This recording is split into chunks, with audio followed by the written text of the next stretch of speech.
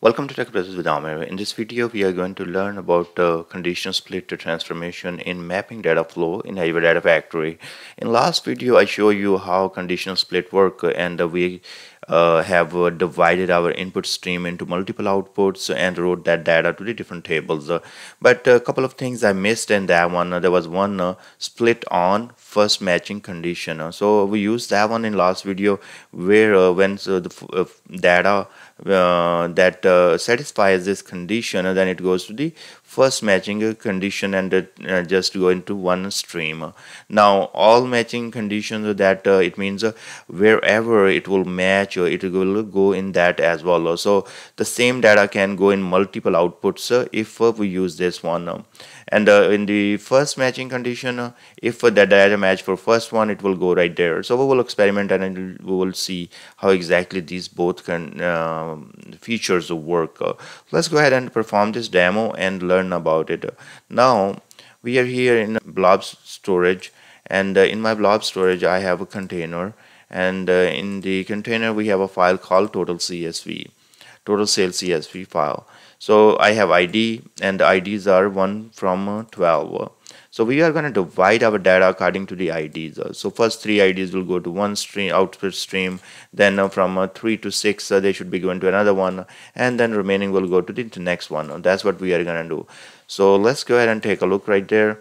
Here I'm in Azure Data Factory and my data flow is uh, I have enabled data flow debugger so cluster is being uh, generated so it's uh, right now it's uh, just building our cluster but we can go ahead and start working now. In the data flow I'm gonna select a source and then uh, go to the data set and go to the Azure Blob Storage and here I will be select my CSV file.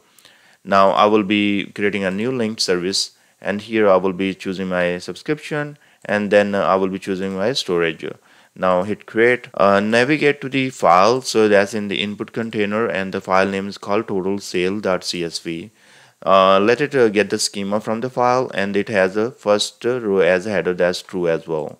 Now we can uh, just uh, right come here and preview our data. And we can see that it is getting all the data what we have in the CSV file. So we have ID 1 to 12 right there.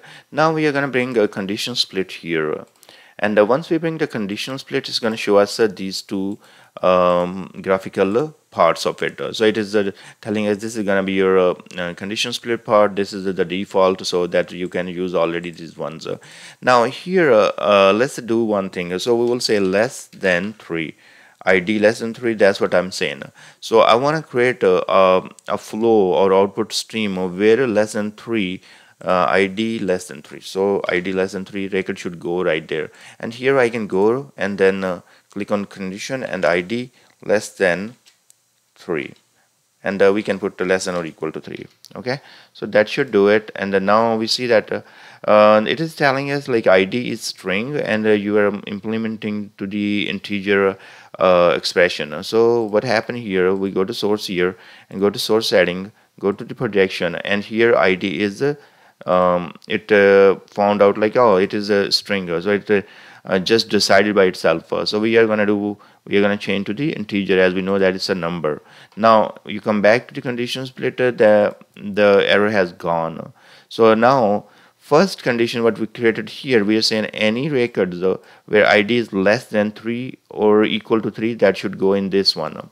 And then we can uh, output to the wherever we want to write to the maybe table or somewhere. Now we can go and add another condition. And here in I'm saying id greater than 3 okay?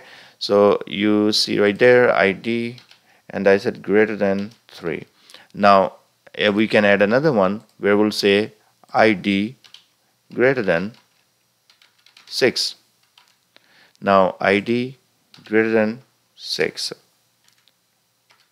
here. Okay now this is the last one and I will say remaining uh, IDs or whatever. Okay now look at here we have this selected first matching condition now what's going to happen in the as we have id less than 3 these IDs will show up right there in the first one. Now uh, the rest of the IDs they are greater than 3 so then what happen if we have selected first matching condition all those IDs will go to this bucket so then uh, id is greater than uh, 6 uh, that will not even there would be no record because we are saying first matching condition and our records are matching with this one so we have all ids which are greater than 3 they will go to in this bucket then it is not going to go to this at all because you have selected first matching condition and there would be no remaining IDs as well. Let's preview the data and so we can see that how exactly it's going to behave. So less than 3, if I remember uh, we have less than 3 records so, or equal to 3, so 1, 2, 3 that comes right there.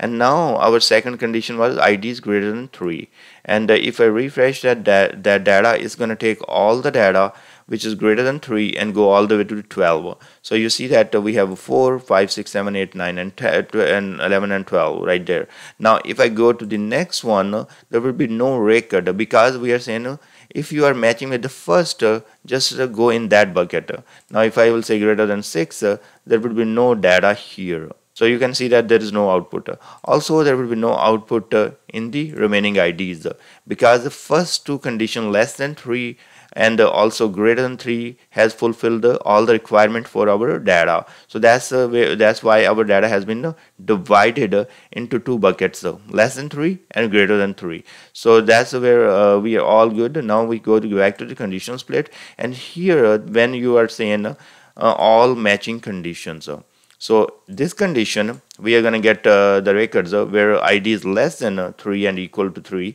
So that's fine. Then uh, the records are going to go be like go to the next bucket where greater than 3. So you're going to get like 4, 5, 6, 7, 8, 9, um, and uh, 10, 11, 12. That will be fine. Then uh, even the those all records are here and they satisfy here but as you have selected all matching conditions now in the next one what's going to happen uh, all those records uh, which uh, were actually here 7 8 9 and 10 were here as well they will be going in this bucket as well because this condition is also true and you are saying all matching conditions so uh, and then whatever the remaining if uh, that satisfies it it will go right there.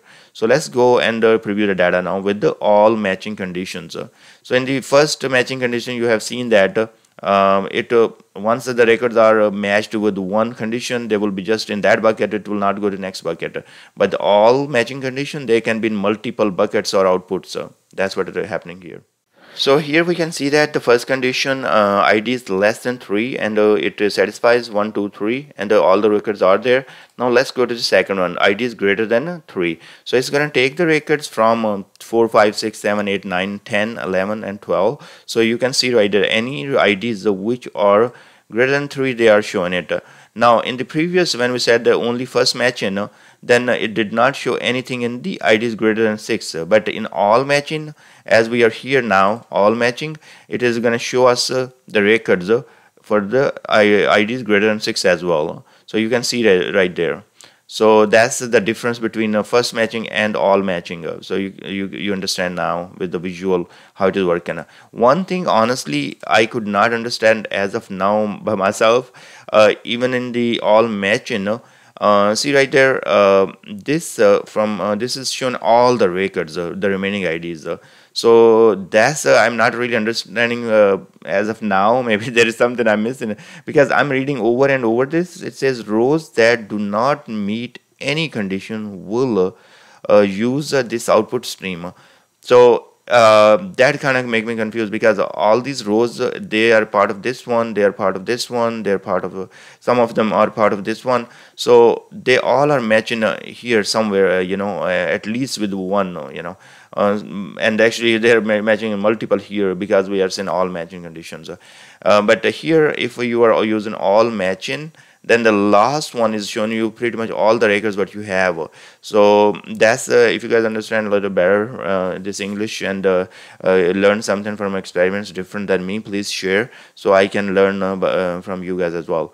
So thank you very much and i hope this explain the detail of where you need to use first matching condition that if you want to once first matching condition you will be using uh, if you want to put that records in one bucket right there and once they're done uh, you don't want to put in anyone even the condition meter.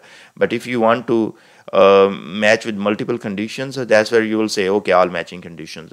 Thank you very much for watching. Please subscribe my channel and obviously i will see you guys in next video